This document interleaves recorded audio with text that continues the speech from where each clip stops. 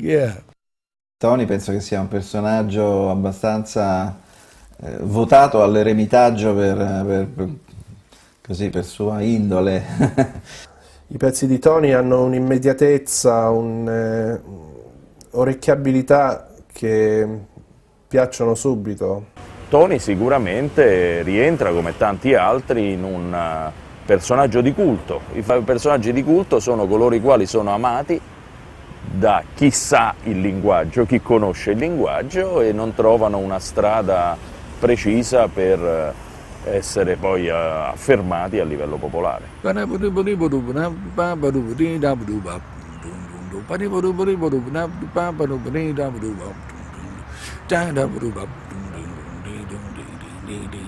Pop.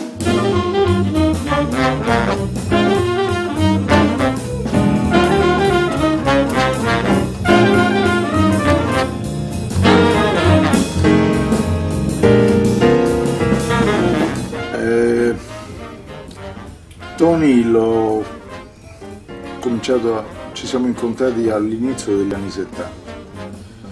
Eh, eravamo tutti e due eh,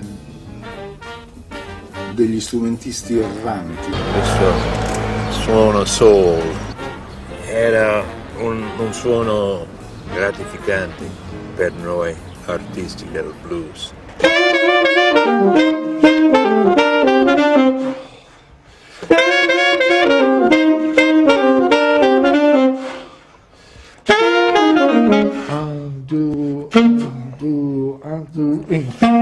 Tony ha suonato il sax baritone, che è uno dei migliori sul sax baritone.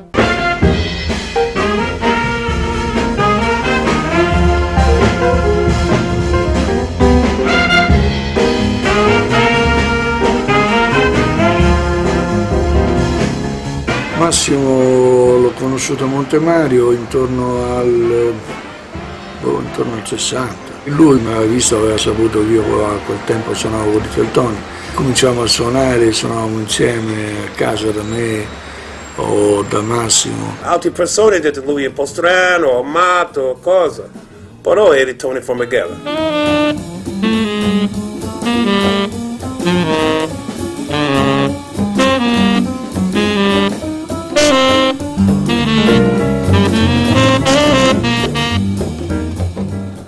So, il mio ideale forse era capelli lunghi, un po' scasciato, un po' ribelle, così. All'inizio è stato tosto. Vabbè, poi c'era la musica che ci accomunava. Tony se si fida si fida, cioè siccome è un puro, lui è un puro. Ogni qualvolta guardo il cielo in primavera, d'estate, è bellissimo, c'è un senso di comprensione, di infinita comprensione, di sentirsi di essere vivo, di far parte della vita circostante. Mi affascinò subito questa, questa figura eh, intensa, con questi capelli, questa faccia un po' da indiano che aveva selvaggia. Lì per lì rimasi talmente affascinato e folgorato dalla, dalla capacità di, di, di affabulare di Tony che, che, quel giorno mi ricordo lo passammo senza, senza suonare. In questo, questo posto c'era il Music Inn, un club eh, di jazz eh, dove dagli anni 70 io ho avuto la fortuna di vedere alcuni tra i musicisti di jazz in circolazione in quel periodo più importanti, Dexter Gordon, Chet Baker, George Coleman, Kay Winding, Mel Waldron. Tony Formichella fa parte di questa, di questa generazione di musicisti che, che suonando qui eh, comunque ha, ha, creato un po' la, la, il collegamento e la continuazione tra, tra, le generazioni dei musicisti americani e i musicisti qui romani, Mario Schiano con Bruno Tommaso, Toni, Massimo Urbani, Maurizio Giammarco e tutti questi musicisti avevano fondamentalmente il Music Inn come punto d'incontro e il, il folk studio ex folk rosso a, a, Trastevere. È un personaggio che non è costruito, Tony ha una, nel suonare una spontaneità una musicalità, una voce nel suo strumento che tu senti che non sono costruite. Tony non è una persona che si mette lì e si mette a provare col sax per cercare di fare le cose eh, più veloci, più precise possibile, l'intonazione spaccata al millesimo di tono, forse questo in Tony a volte non lo trovi. Eh, Tony suona eh, a seconda del, degli spazi che attraversa con la mente, che è una cosa importantissima e grandiosa questa cosa. Cioè, Tony riesce ad interpretare con, con la sua musica, col suo modo di suonare, riesce ad interpretare eh, delle cose che forse molti musicisti hanno dimenticato e farebbero meglio a ricordare. Me lo portò il padre, me lo portò, quindi perché voleva imparare il sax. Quindi vabbè, io dissi sì e cominciammo la prima lezione, cominciamo e già notavo che aveva molta disposizione per questo sax. E quindi piano piano, piano piano, lezione per lezione, cominciando col solfeggio e poi col sax e migliorava sempre di più, sempre di più. Quindi forse dunque, un po' di anni di lezione mi dava soddisfazione perché eh, subito, dalle, quasi dalle prime lezioni, già dava degli accenni al jazz.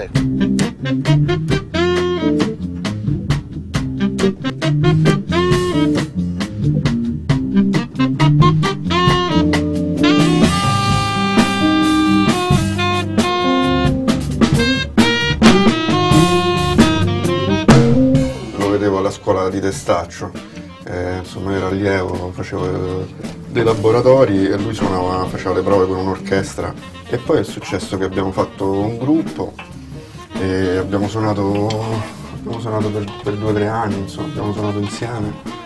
E è stato divertente, è stato fighissimo.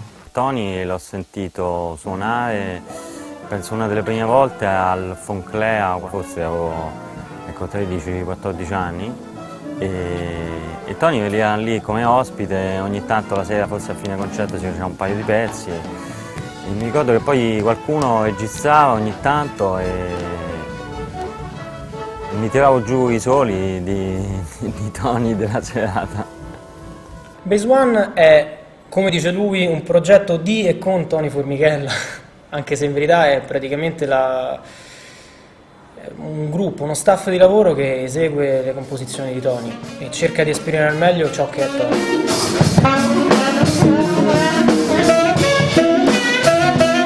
Spesso in tutte le discipline, in tutti i settori c'è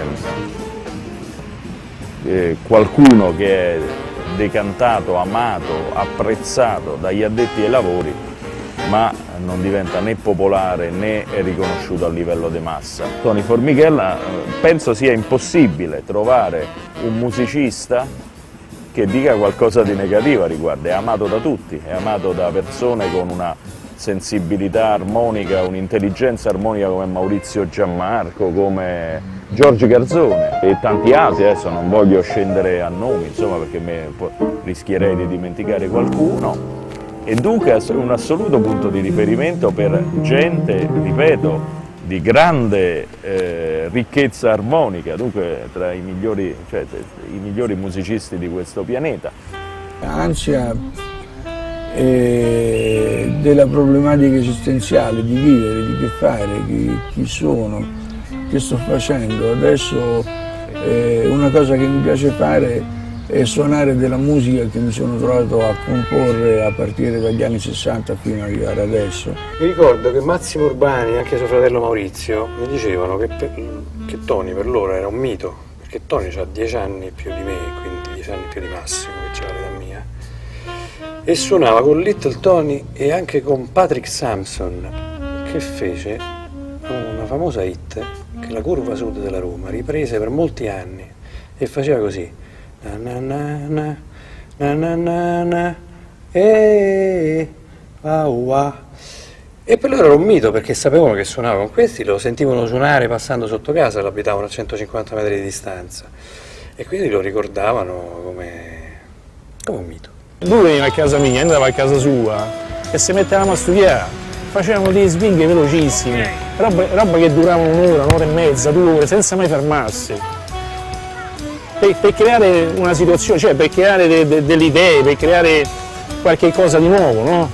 Ma erano velocissimi, una cosa tremenda. E allora io spesso e volentieri andavo a casa sua e lui spesso e volentieri veniva a casa mia E poi tra cui c'era, pure un'altra persona che suonava la tromba, un certo Mimmo, io mi ricordo il cognome, tu te lo ricordi? No, cowboy no, è più indiano.